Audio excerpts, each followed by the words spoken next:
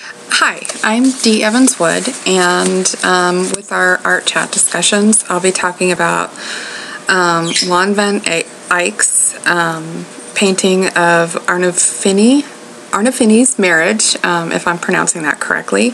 Um, it, it's a Flemish portrait, which Eyck is from um, Belgium, which is modern day Netherlands. Um, and this is actually one of the most analyzed um, and researched paintings in history, um, which I found um, kind of interesting. Um, much of his work was based on religion and Christianity. Um, this was painted during the Northern Renaissance, which was a period um, of great prosperity for Burgundy, um, which is modern day um, Belgium, Netherlands. Our Arna Finney, Arno Finney, um, if, I can't, I'm not sure if I'm pronouncing it right. Arno Finney married the marriage, um, which is the gentleman who is in the painting, um, was one of Elk's greatest masterpieces, or Eyck's greatest masterpieces, um, which was painted in 1434. Um, it is believed that the painting is a scene of a private wedding um, ceremony, and the painting itself acted as the marriage certificate. Um, of course, that's one interpretation of when the painting was done. Um, it also has been suggested the painting celebrates the continuity of their relationship and married life, or the close relationship between the couple that's in the painting. Um, whatever the situation, um, the painting depicts Eyck's um, transposed secular and religious themes, which, as I stated earlier, a lot of his paintings were based on, are based on Christianity. Um, there are those who believe this was um, Arnolfini's wife in the green gown. Um, and most believe she was pregnant, but actually during that time period, it was proper for women to lift up the front fabric of their gowns, um, which made her probably look pregnant.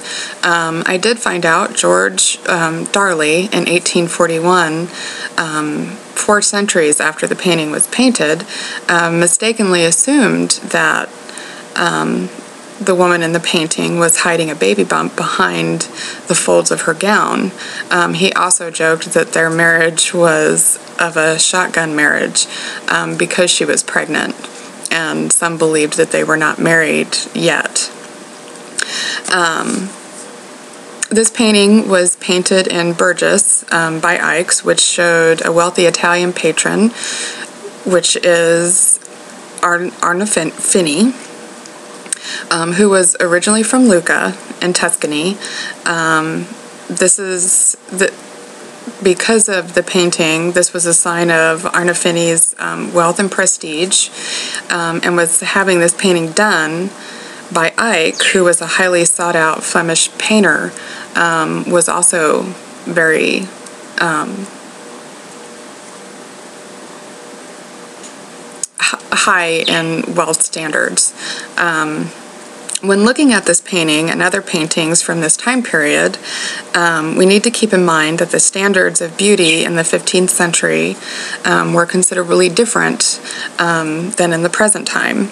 Um, at the time when so many people were thin due to poverty, um, a plump figure, as the woman in the painting, was considered more attractive. Um, also, at the time, when infant mortality rates were quite high, um, women would pad their stomachs um, to look pregnant as if it as it was desirable to be so. Excuse me, which was a sign of wealth, youth, and fertility. However, if you look closely um, at the detail of the bride in the painting, um, she is actually holding up her fabric, as I stated earlier, um, because it was a common thing to do for women when they posed. Um, and she's holding it up her, waist, which bunches the fabric and makes her look as if she's pregnant. It's unknown if she was actually pregnant or if she was trying to look pregnant during the time this painting was, um, because it was, of course, done in the 15th century, so it's kind of difficult to go back and know if she actually was pregnant. It's also um, wondered if she is. Um,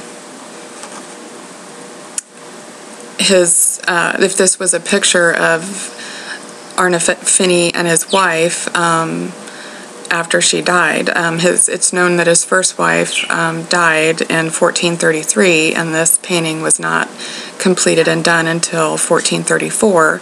So they're wondering if it's a memory um, based on his first wife. Um, but it's actually very interesting, the history behind it. Um, I really enjoyed looking um, further into the history, I did take an art class um, and studied some of this painting, but we did so many paintings that it was hard to go in depth with the history and the meaning. Um, but for this aspect, um, I'll be doing. I'm doing the history. Um, it's also been said throughout history of the painting that um, the woman is a familiar face in all of Eyck's paintings um, of women. So a lot of people assumed he just used the same faces um, and same features with all the paintings that he did, um, rather than of it being of a specific person. Um, many of the faces are similar with features, and some believe it could just be a style of his painting, which I thought was interesting. Um, so I hope you enjoyed some of the little historic features of this painting as I enjoyed researching them. Um, and I hope you enjoy um, the Prezi. Um, we had some difficulties, David and I, with our Prezi, so I'm hoping me starting this one um, from scratch that you'll be able to view it um, with no issues. But thank you, and um, I enjoyed doing this project. And thanks, David, for your help as well. Thanks.